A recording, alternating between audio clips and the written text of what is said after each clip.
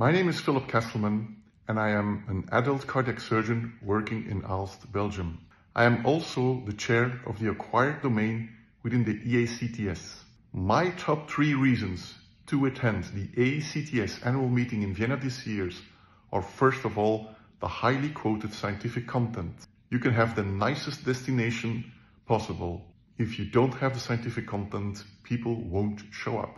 So this is our top priority. Besides, it's an absolute opportunity to meet with professional connections, both from the industry and with peers. And as a third reason, but non, un, not unimportantly, is meeting friends. In fact, throughout the years, you happen to make friends with surgeons from all over the world, and they come together at this particular meeting. So besides scientific contact, professional connections, it is also a meeting of friends. So be there in Vienna this year. You won't regret it.